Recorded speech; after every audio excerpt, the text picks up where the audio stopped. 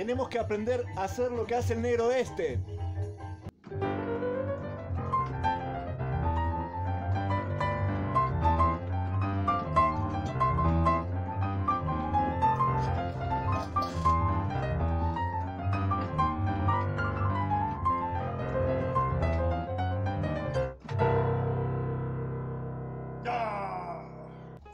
¿Qué tal? Pianófilas y pianófilos del mundo, de la selva esteparia, y pianófeles, que parece como si hablara de un sabio griego, pero no, es lenguaje inclusivo. Hoy les vengo con un cuento. Va, siempre les vengo con un cuento. Les voy a contar una historia de un pianista así de chiquitito que era fanático de Oscar Peterson y escuchaba los solos de Oscar Peterson llenos de notas y decía, oh, yo quiero algún día tocar como él. Entonces se ponía él a tocar muchas, muchas, muchas notas, pero su, su peña se aburría. La de Peterson se divertía, la de él se aburría. Se preguntó, ¿cuál es el problema conmigo? Es que tengo que ser negro. Entonces un día decidió estudiar sus solos.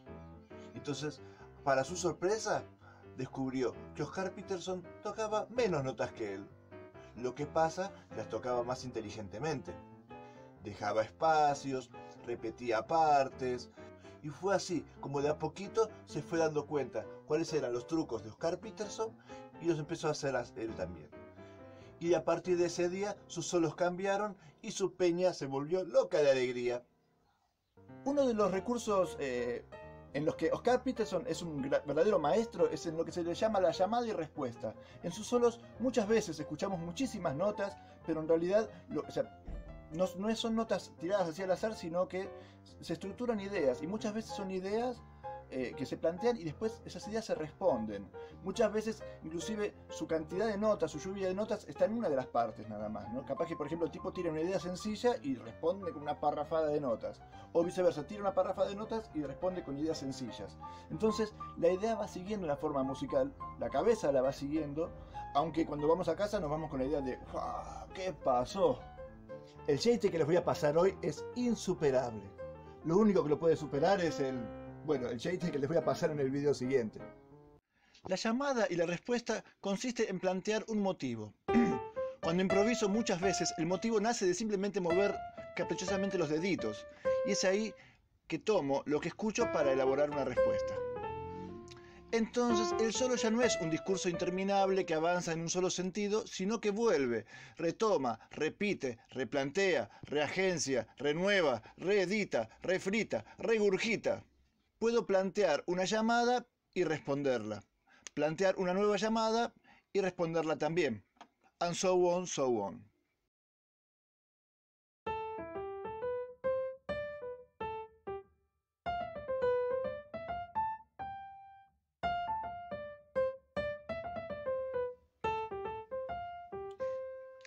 Puedo plantear una llamada y responderla, repetir la llamada y responderla de diferentes maneras.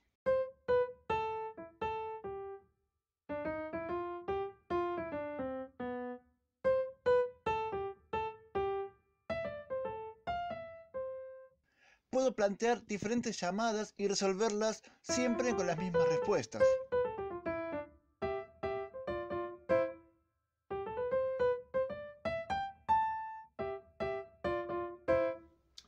Hace algo por vos, estudia la llamada y la respuesta. Y hace algo por mí. Da like y suscríbete.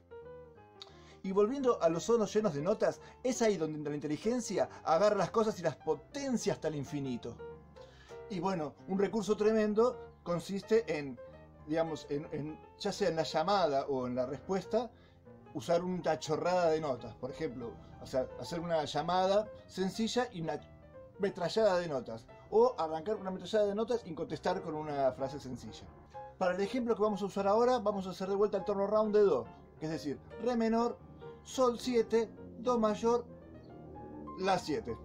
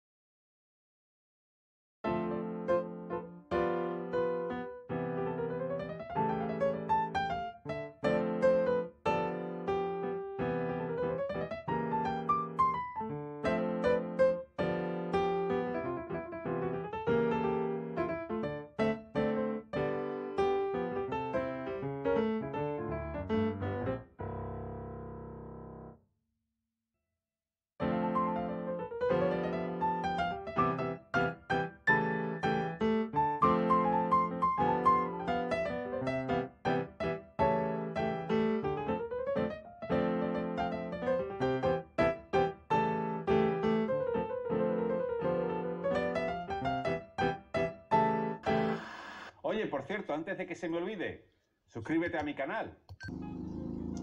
La característica responsorial en la música aparece, en la música occidental al menos, en la época del oscurantismo, digamos, eh, que es cuando la iglesia gobernaba, eh, digamos, las artes y, eh, y muchas formas musicales estaban basadas en cómo se daban la misa, digamos, ¿no? Donde, por ejemplo, el, sacerdote decía unas palabras, o leía unas palabras, y el público respondía en coro unas palabras previamente aprendidas. En las tribus africanas, eh, también eh, tienen esta, esta, idea responsorial, la aplican en el uso de tambores, que inclusive la música latinoamericana de tambores la hereda, ¿no? Hasta inclusive en la murga argentina, en el candombe uruguayo está esta idea, donde un tambor maestro eh, tira ideas y el grupo, eh, en forma de coro de la cuerda de tambores, contesta, muchas veces también con patrones aprendidos. Y un género que nace que ya de la forma completamente responsorial, y anoten esto porque acá hay tela para cortar, es el blues, el blues nace en los campos de algodón donde los esclavos están trabajando y cantan para, para sentirse eh, un poquito mejor para poder trabajar, ¿no? Entonces uno de ellos va cantando cosas y los demás la van repitiendo. Algo que después un poco imita el, ¿Vieron el ejército en las películas cuando dicen y los demás van contestando? Está basado un poco en esta idea. A hacer a continuación es voy a tocar algunos blues eh, tradicionales como para que ustedes puedan ver cómo se da este asunto del, canto, de la, llamada, la respuesta.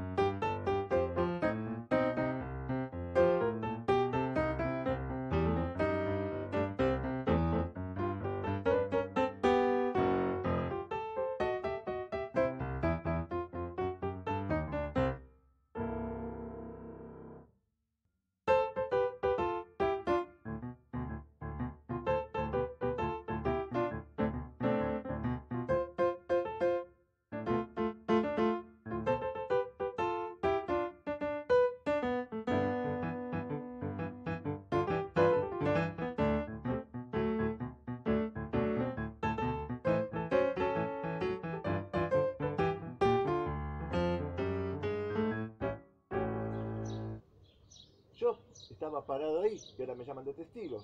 Me hubiera quedado en casa. Ahora sí que tengo las manos calentitas. Lo que te propongo es que escuches música y trates de identificar dónde están las llamadas y las respuestas. Eso va, te va a entrenar la cabeza y va a enriquecer muchísimo tus solos. Si te gustó este video, dale like y decíselo a todo el mundo para que nos multipliquemos los pi pianófilos y seamos millones. Y si no te gustó, no se lo digas a nadie. Es nuestro secreto.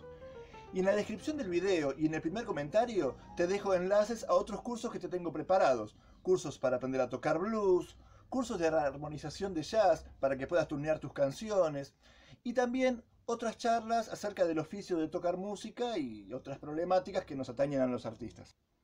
¡Chao!